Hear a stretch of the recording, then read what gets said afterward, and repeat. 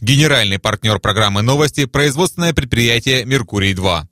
Анапское производственное предприятие «Меркурий-2» предлагает приобрести квартиры во второй очереди строящегося жилого комплекса «Солнечный». Удобная планировка квартир, развитая инфраструктура, близость к морю. Срок сдачи – четвертый квартал 2013 года. Телефоны 48 333 и 48 300.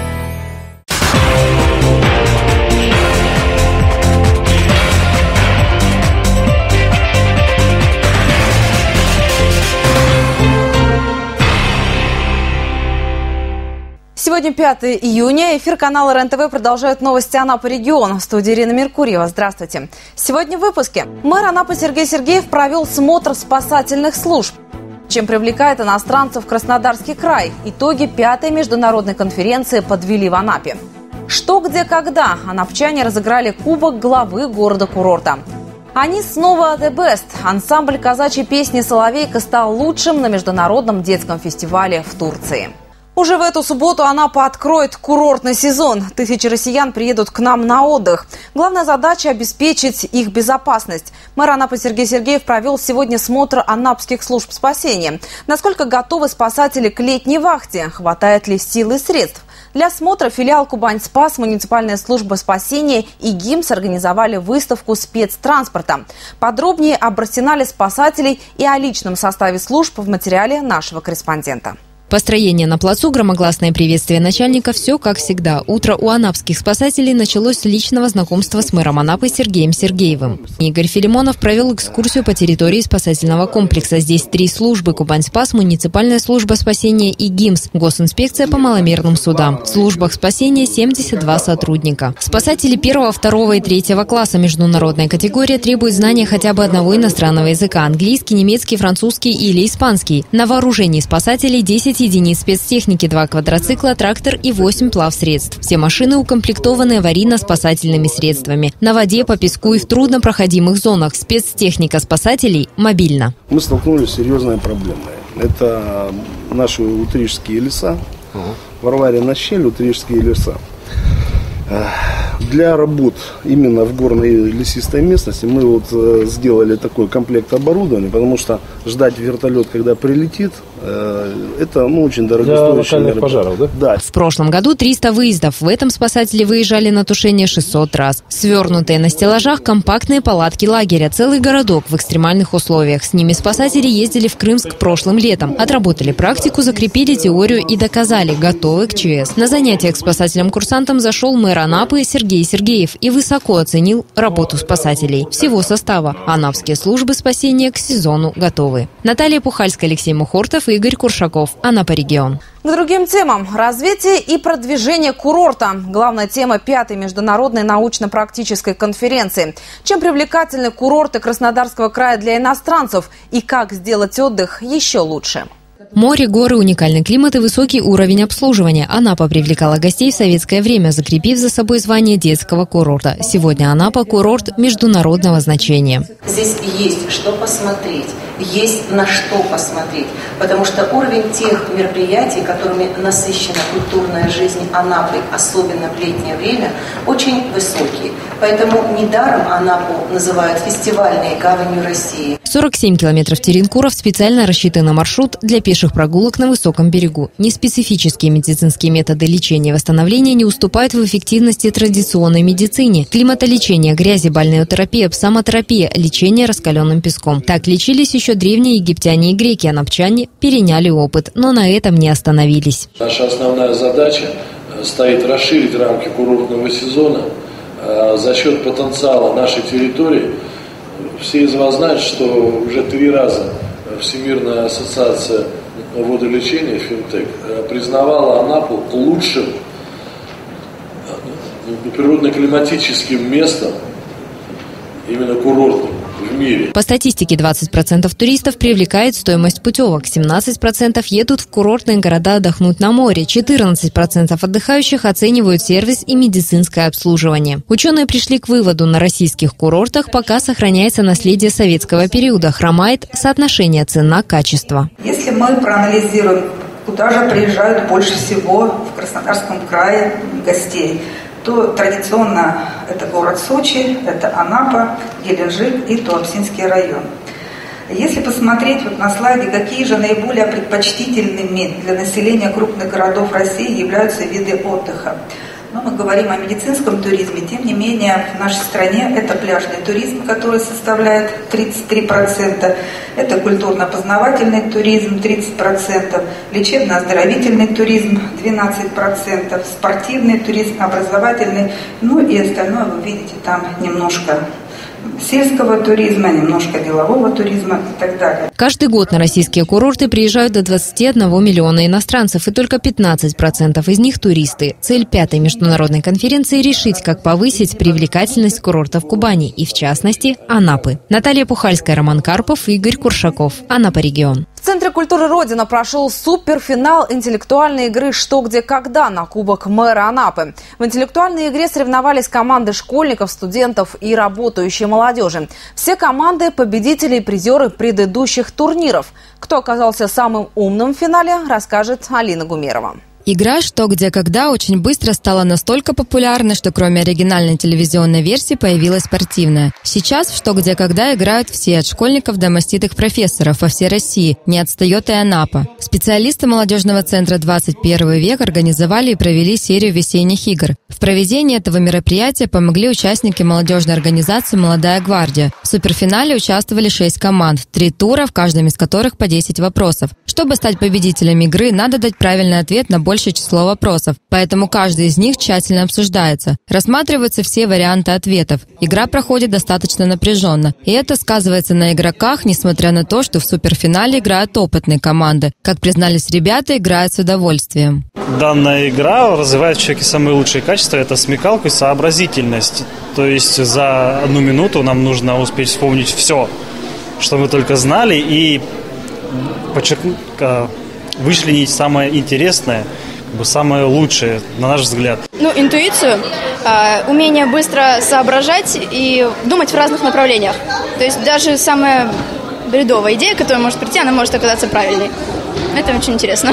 Все участники проявили хорошие знания и смекалку. Исход битвы интеллектуалов оказался таков. Третье место заняла команда имени Федора Конюхова, студента Анапского филиала РГСУ. Учащиеся университета имени Шолохова Кукрыникса на втором месте. Правильно ответили на 22 вопроса лучшие знатоки сезона, представители рабочей молодежи, игроки команды «Улыбка». Ими достался переходящий кубок главы города-курорта Анапа. Алина Гумерова, Александр Кореневский, Игорь Куршаков, Анапа регион. Продолжаем выпуск новостями культуры. Ансамбль казачьей песни «Соловейка» вернулся с гастролей из Стамбула. В международном детском фестивале участвовали 10 стран мира. Россию представлял анапский коллектив. «Соловейки» стали лучшими и получили специальный диплом организатора фестиваля. Юные артисты поделились впечатлениями о поездке с нашим корреспондентом Светланой Авиловой. Oynaya oynaya velin çocuklar el ele el ele velin çocuklar Эту песню о мире и дружбе на турецком языке участница ансамбля «Соловейка» Настя Брюханова и другие анапские соловушки пели вместе с юными артистами из 10 стран мира на международном фестивале в Турции. К поездке «Соловейки» тщательно готовились, ведь им выпала почетная миссия – представлять Россию, отмечает руководитель ансамбля Ирина Базель. Коллектив с легкостью преодолел отборочный тур и прошел на гала-концерт, где и стал лучшим. Диплом с английскими словами «The Best» казачатам вручил мэр Стамбула. Целую неделю ребята посещали турецкий колледж, который был закреплен за группой из России и восхищались красотой Стамбула, города с древнейшей историей, известного под разными именами. Для славян это Царьград, для всего мира бывший Константинополь, оплот Римской империи. По словам анапчан, город привлек своей уникальной культурой, где азиатские достопримечательности соседствуют с европейским комфортом отелей. Но ребята жили не в гостинице, а в специально подобранных семьях. Турецкие мамы и папы стали для словеек на время гастрольной поездки родителями. В той семье, где я жила, маму звали Бельгин, папу звали Азиз, а нашу сестру мою ровесницу звали Айча. Юные артисты узнали о турецких традициях, обычаях, оценили кулинарный стиль местных жителей. Мы больше слов говорили на английском, они тоже понимали на английском. Мы говорили, мы хотим кушать, I'm hungry, там Э, Еще нас нам выдали бумажечки, там было по-турецки написано, и мы им показывали, и они нам давали все. Покушать это у нас было самое смешное.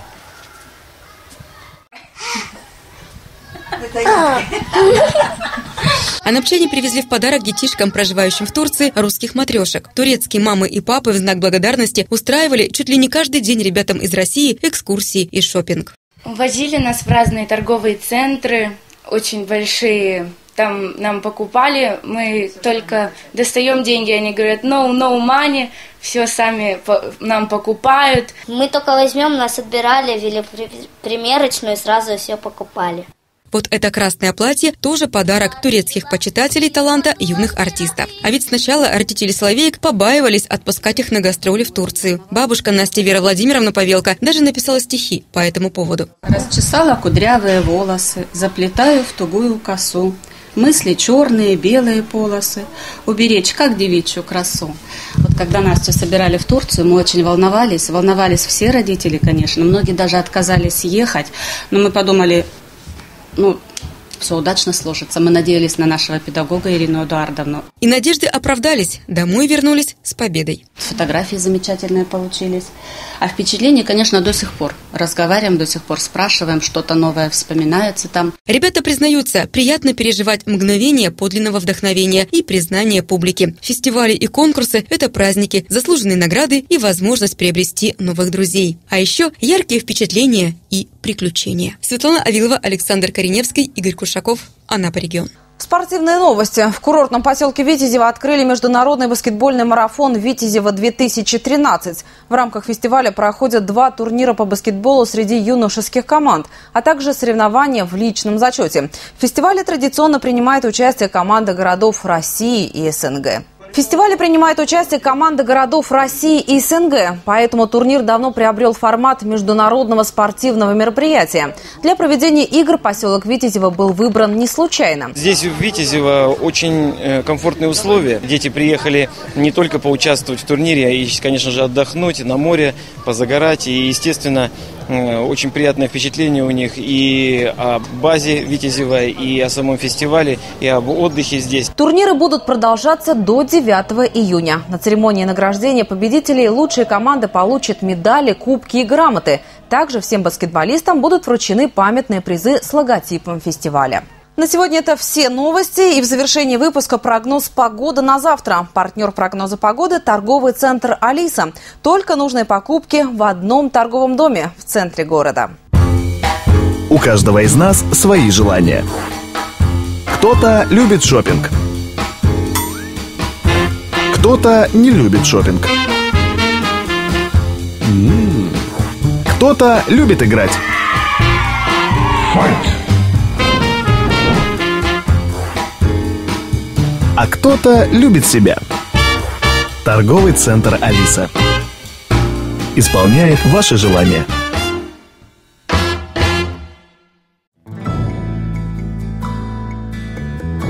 В четверг 6 июня в Анапе будет солнечно и относительно тепло. Температура воздуха днем плюс 19-21, ночью до 17 градусов по Цельсию. Ветер переменный до 3 метров в секунду. Атмосферное давление 757 миллиметров ртутного столба. Температура морской воды у берегов Анапы 20 градусов выше нуля.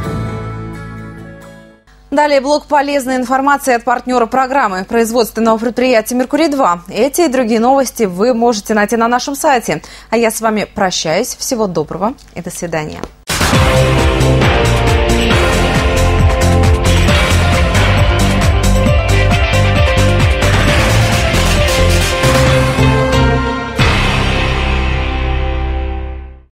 Анапское производственное предприятие «Меркурий-2» предлагает приобрести квартиры во второй очереди строящегося жилого комплекса «Солнечный». Удобная планировка квартир, развитая инфраструктура, близость к морю. Срок сдачи – четвертый квартал 2013 года. Телефоны 48 333 и 48 300.